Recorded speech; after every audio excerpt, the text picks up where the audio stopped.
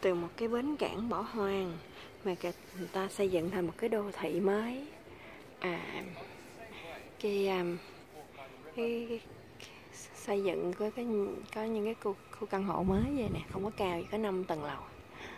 À, giá cho thuê hình như đâu ba trăm rưỡi bản một tuần tùy theo diện tích phòng ngủ một phòng hai phòng ba phòng gì đó.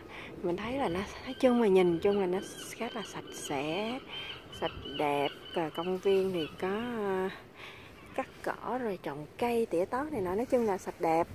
Đó. thì à, mình thấy người ta cải tạo cái khu cái khu à, bến cảng cũ thành à, cái khu dân cư như vậy đó. Hay cái ngày xưa nó rất là tệ nạn nó nguy hiểm. Đối với dân địa phương ở đây ngày xưa nó khá là nguy hiểm đánh chém đủ thứ. Đó thì đó bên kia là cái bến cảng cũ ngày xưa đó nó là như vậy đó. Đó xa xa bên kia. Nhà xưởng rồi chủ yếu là nhà xưởng. À. Đó, mà bây giờ người ta cải tạo lại như vậy. Cái nhìn nó sạch sẽ miếng sạch sẽ an ninh là sẽ có người ở thôi. Uhm, rất là hay. Thích cái cái thích, thích cái chỗ chỗ này không biết nhưng nghe nói là ban đêm thì nếu mà du học sinh trẻ mà có đi học thì nên đi thành nhóm bạn chứ không có nên đi lẻ.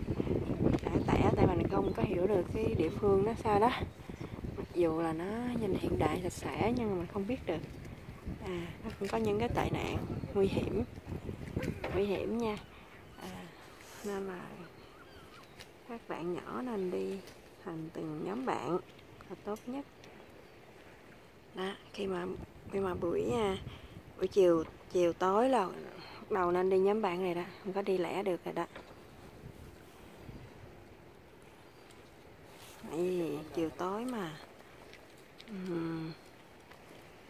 đặc biệt là mùa đông nó nó vắng cực kỳ à, vắng lắm nguy hiểm lắm. Có những người mình không biết đâu tâm thần chẳng hạn thì mình không biết được chút được họ sẽ sẽ sẽ sao. Mình cẩn thận.